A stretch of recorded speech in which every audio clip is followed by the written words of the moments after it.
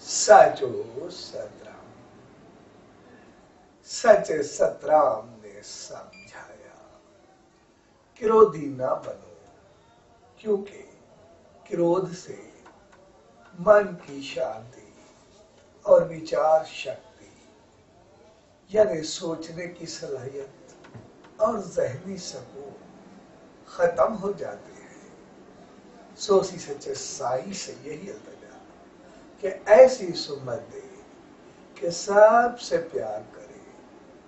सचो सदरा। सचो सदरा। साचो